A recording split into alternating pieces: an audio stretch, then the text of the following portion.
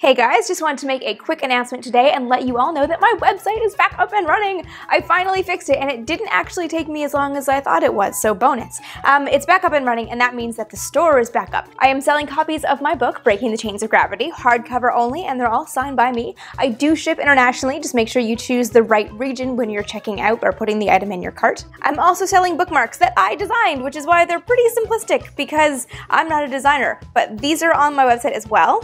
I'm also selling stickers of my channel art. They're smaller than I thought two square inches was to be, so I'll get bigger ones next round. But for now, uh, these I'm also selling on my website. I'm also selling pins, which are hard to see from there.